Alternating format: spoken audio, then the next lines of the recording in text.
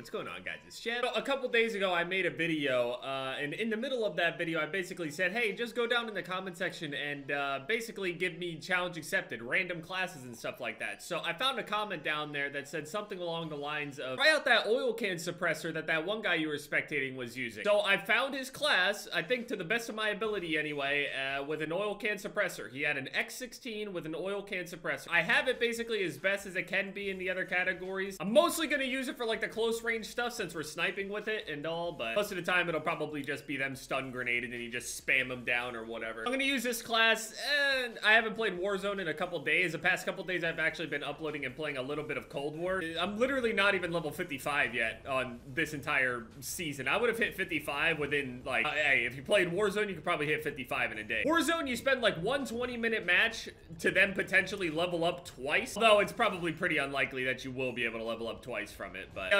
UFC uh, tomorrow, it's supposed to be Kevin Holland versus uh, Derek Brunson. Derek Brunson is like the gatekeeper to the elite in the UFC, it feels like. Derek Brunson is like this guy that like if you can get through him, or more so if you cannot make it through him, you're definitely not gonna be the top of the top. That's what that gatekeeper kind of thing is. A lot of people look at gatekeepers kind of like either maybe former champions or uh, long-time contenders and stuff that never have really realized a belt. And regardless, Derek Brunson, he's a beast. It's just, you know, he's got holes in his game and, you know, he's got, like everybody else, you know, it is what it is. He's supposed to be fighting Kevin the Trailblazer Holland. I don't see anything down here, man. Uh, no armor, no money. I just know, though, as soon as somebody opens up on me, I only got a plate and a half. And then somebody goes and takes it. Fuck.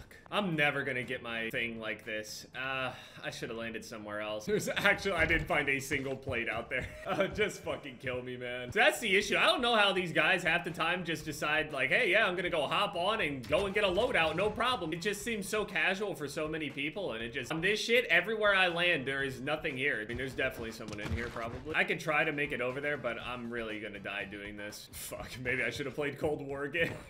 God damn it. So they added the, uh, the R1 Shadow Hunter crossbow thing. Don't know if its stats are really any different. That's kind of the, the hardest and weirdest part of this whole thing. We don't really know if any of the stats are really different from the other crossbow. Oh, somebody shot at me. Uh, I can go here and just kind of try to buy like an armor plate bundle or whatever.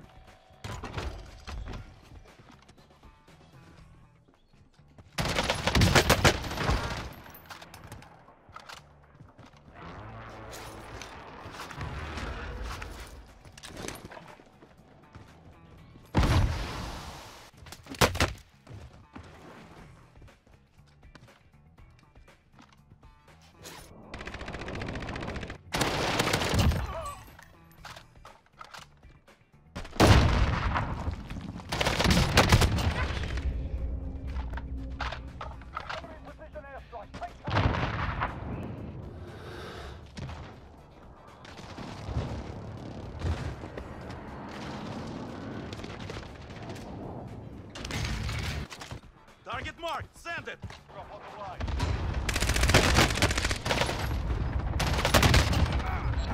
Foul and an ISO. Really? That's the setup for this guy. We got two kills. I haven't even been able to... We got a, a mask in here anywhere, guys?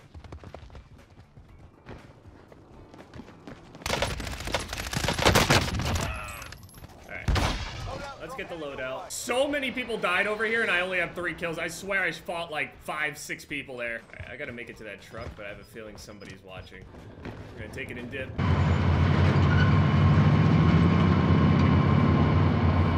Alright, let's see if we can kill anybody with these. Uh,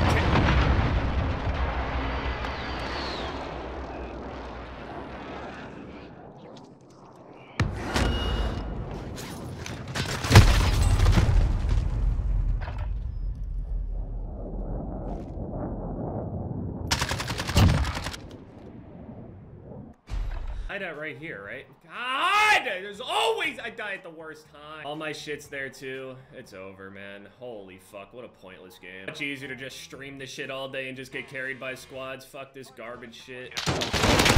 Great, it's awesome. I love being able to win my gulag to land back into nothingness. What's the point of even winning? And even if I win, congratulations, I won a fucking game where I've got how many? Four kills? Might as well die. I'm gonna just land up here. Hopefully someone smokes my dumb fuck ass.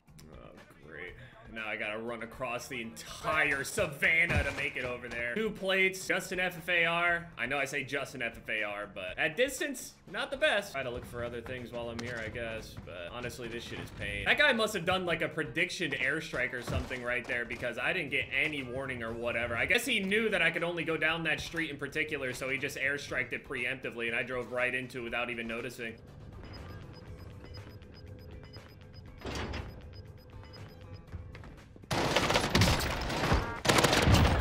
FFAR. Never seen this class set up before. Moving.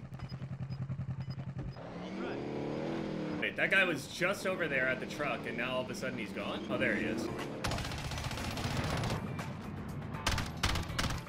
Back here, buddy boy. Don't run from me.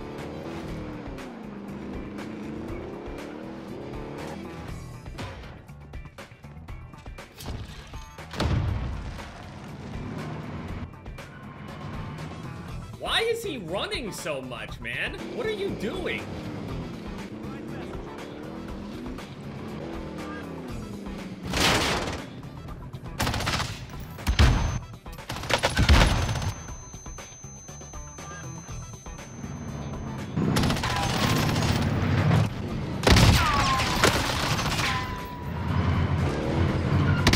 Dude, let me move! Like, my character was literally, I, I moved specifically in a way where I stayed away from that hitbox of it. My own vehicle had me stuck against the side of it when I was trying to sprint. I sprinted in place, and it caught me against his vehicle. Another vehicle to sit and just drive around in. One fucking kill, and it's me, man. Oh, please run him over. Oh. Okay. Yeah, and the hitbox for that whole thing just immediately. Look how easily he's protected as soon as he goes and puts the door and gets in that fucking cockpit right there. Entire playstyle, no gunning whatsoever. The only time he tried to gun and he immediately threw stunts. And he outplayed me. Like, uh, unreal. Some people like calling Kevin Holland just big mouth, but I mean, he's just talking shit. I mean, a lot of people have talked shit. Yeah, he does it in this pretty special way where he just talks shit in the middle of the fight.